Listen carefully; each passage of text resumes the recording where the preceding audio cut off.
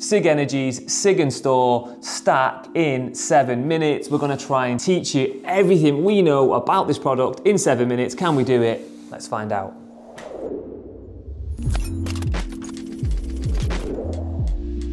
Inverter sizing. Now you've got huge amount of choice here. You've got nine to pick from. You've got a three kilowatt, a 3.6, a four, a 4.6, a five, a six, an 8, a 10 and a 12 kilowatt energy controller. That is this bit at the top of the Sigenstor stack. Now, realistically in the UK, you're going to be deciding between the 3.68 because that's G98 compliant the 68, maybe the 10 kilowatt versions. On a single phase supply, getting approved for anything over 10 kilowatt is really difficult.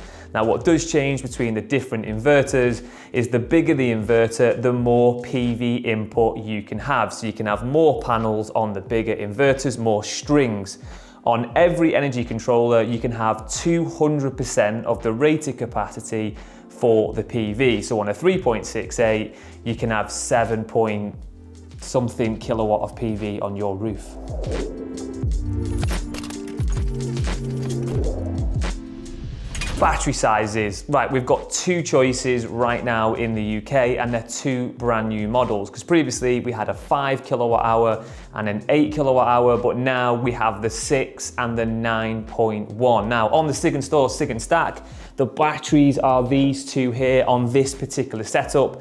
There's two 9.1s on this battery, which totals 18.2 kilowatt hours. Now, these batteries are really, really advanced. They've got an advanced BMS. Every battery has its own battery management system, so they work independently. If one fails, the others will stay on. And you've got Sig five-point protection program.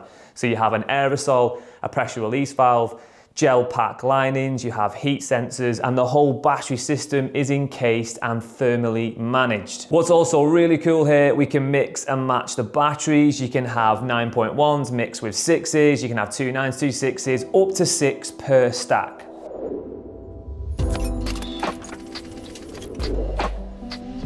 Gateways. Now, if you have your Sigenstor in a property where you have frequent power cuts or you just want that independence from the grid, you can have the optional gateway. Now, on the single phase version, this is called the SIG store Home Max. There is a brand new model coming out towards the end of 2025 the only difference with that is the previous models, they did make a little bit of a hum. The new one, apparently that's been eliminated. What has also changed though is you can only have two inverters per one gateway on the brand new gateway. On the old one, you could have up to three. Now in the UK, we spoke to Sigenergy, less than 2% of systems ever had more than one inverter attached on a single phase supply because you have that grid limitation. They're probably not going to approve you for two 10 kilowatt inverters on a single phase supply. You can have up to six modules. So I think you'll be all right.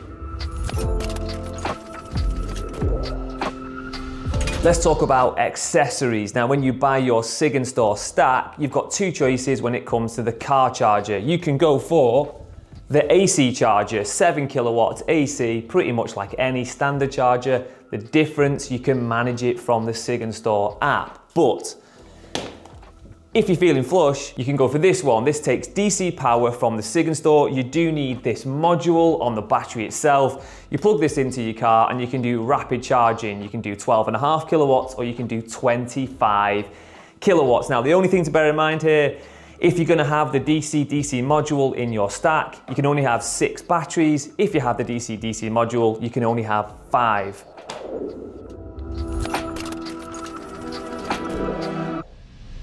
Let's talk about price. Now, this is trade price only and it includes VAT. There are no installation prices included here. But the inverters, they start from around £850 for those 3.6s and you can go right up to £2,000 if you want to buy the big 12 kilowatt version. Your batteries, well, that 6 kilowatt hour module, trade retail on that is going to be around £2,200 and if you want to go for the big one, the 9.1, expect to pay about 2,800.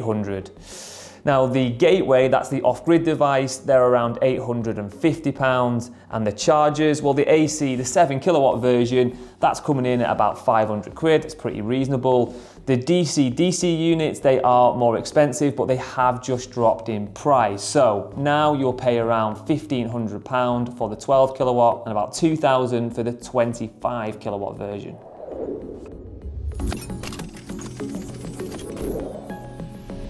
When it comes to configuring your system, you've got a huge range of options with Sigenstor because you can have it as a battery only solution. That's where you charge it up at night, you use that power to run your property throughout the day, and if you've got any spare, dump it back to the grid.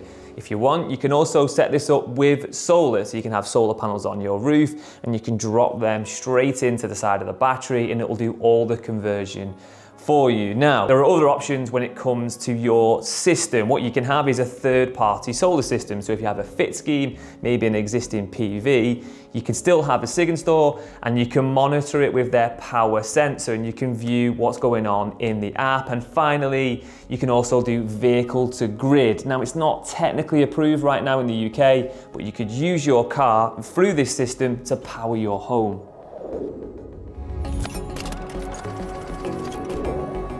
When it comes to controlling your Sigenstor stack, it's going to be super simple to do because the MySigen app is one of the best on the market. They are constantly updating this. Every time I go onto it, there's new features, there's new updates. If you're watching this video six months from when we film this, I bet you it's changed and it's even better. Now, some of the features that stand out for me are the AI assistant.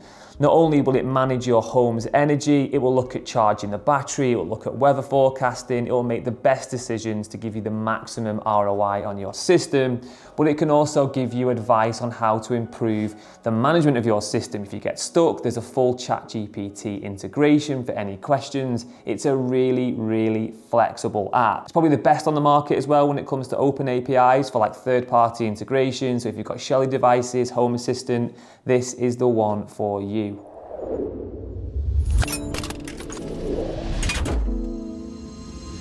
Right, let's summarize this product. Now, if you're in the solar market, you'll be aware there's a huge amount of hype around the Sigenstor, SIG Stack at the moment. Everyone seems to be talking about it. Customers are asking for it. More and more installers are wanting to get trained on the product.